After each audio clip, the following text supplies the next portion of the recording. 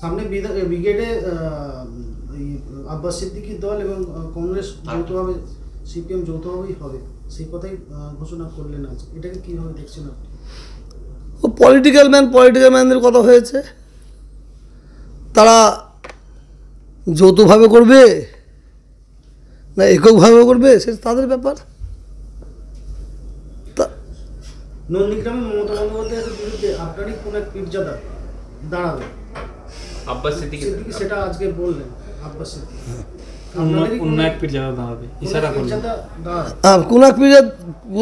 দাঁড়াবে? দাঁড়াবে?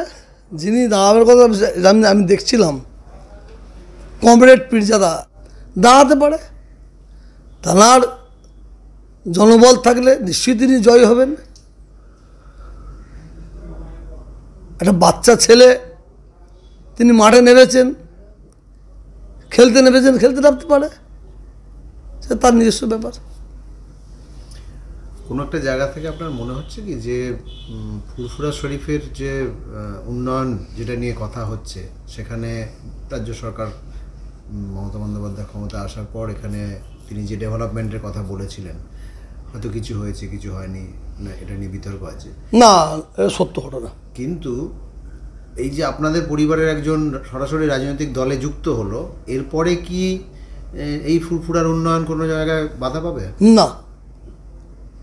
পশ্চিমবাংলার মুখ্যমন্ত্রী এমন একটা মুখ্যমন্ত্রী উনি পিছনের দিকে তাকান উনি সবসময় ওনার লক্ষ্য থাকে সামনের দিকে। এই মুখ্যমন্ত্রী ভবিষ্যৎ কি?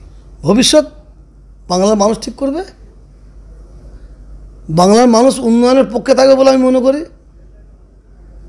এটা উচিত। থাকা উচিত বলে আমি মনে করি। আপনি কি আপনি তো গতকালও দেখা করেছেন মুখ্যমন্ত্রীর সাথে। সেক্ষেত্রে একটা কথা শোনা যায় যে তোহা সিদ্দিকি মমতার পক্ষে আছে। হ্যাঁ বলতে পারে। তাহলে বাস্তব? পশ্চিমবাংলার মুখ্যমন্ত্রী মমতা ব্যানার্জি উনি হচ্ছে বাংলার অভিভাবক।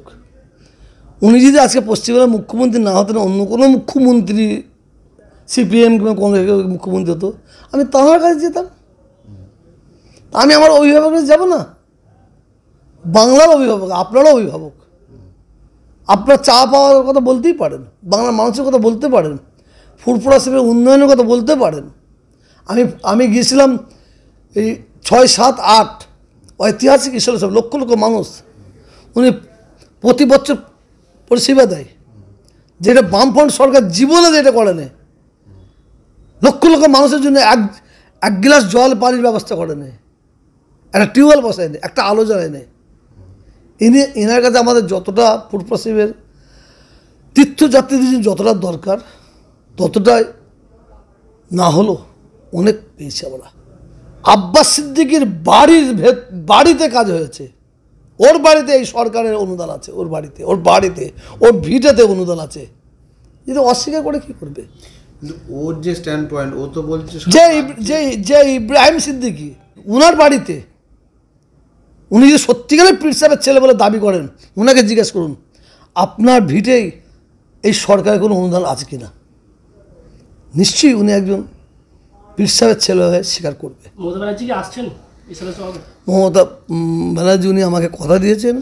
আমি ওনাকে একটু বলেছি ফুরফুরা সেবে মহিলারা তো আসেন না তো উনি চেষ্টা করবেন নাইনটি পার্সেন্ট আমাকে কথা দিয়েছে উনি হেলিকপ্টার করে ফুরফুরা সেবের চারিদিকটা ঘুরবেন। কোনো একটা জায়গায় নামবেন। আর যদি না আসতে পারেন, উনি বলেছেন, আমি ফুরফুরা শরীফ ভোটের আগে। ফুরফুরা শরীফ একটা কি কালীঘাট নাকি একটা বললেন? আমি বেখিয়া লেগেছি। আমি দুটো জায়গায় যে আমি প্রার্থনা দোয়া চেয়ে আসব। এটা উনি বলেছেন। ভোটের আগে আমরা জীবনে দেখিনি ভোটের আগে এত মিলিটারি নামতে।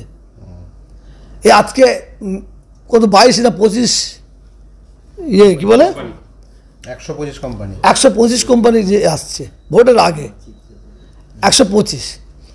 এটা বাংলার মানুষকে ভয় দেখানোর জন্য নিয়ে আসা হচ্ছে?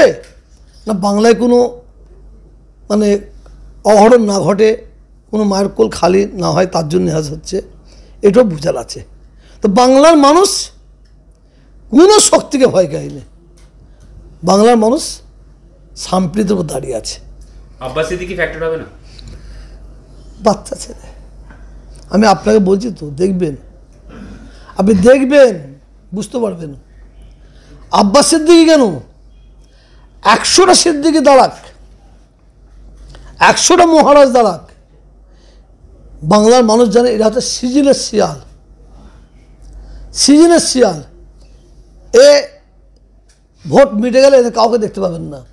এ আমাদের তিন দিন এই মানে ঈশ্বরের সব ধর্মীয় সভা হচ্ছে। সব দোকান খুলছে। তিন দিন পর আর কাউকে দেখতে পাবেন না। এই তিন দিন দোকান খুলে কেন? লক্ষ লক্ষ মানুষ আসে তাদের কাছে কিছু কামাবার জন্য। নিশ্চয়ই আকেল মানতুলি ইশারাই কাফি। মোটেই নয়। ফুরফুরা শরীফকে মানুষ ভোট দিয়ে দেখে না। ধর্ম দিয়ে দেখে। আমি ফুরফুরা শরীফের মানুষ। আমার এলাকায় কী অসুবিধা না হচ্ছে না হচ্ছে সেটা আমি জানি। বাঁকুড়ার মুসলমানদের কী অবস্থা তারা জানে। চব্বিশ পরগনার মানুষের কী অবস্থা? মেদিনীপুরের তারা জানে। তো ফুরফুরা শরীফকে মানুষ ভোট দিয়ে কোনো দিন দেখেও না দেখব না। এটা আমি বলতে পারি। কিন্তু আপনি বলছেন মমতা বন্দ্যোপাধ্যায় আবার মুখ্যমন্ত্রী হবেন। আপনার ভাই হবে বলছি না হবে হতে পারে। হতে পারে বলছেন। আবার আপনার ভাইপো সে বলছে সে লড়ছে মমতার বিরুদ্ধে। বলছে মমতাকে হাঁটাতে হবে।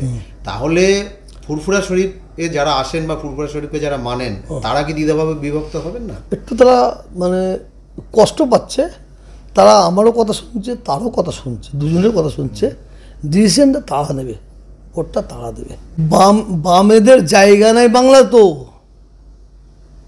বামেদের জায়গা নাই।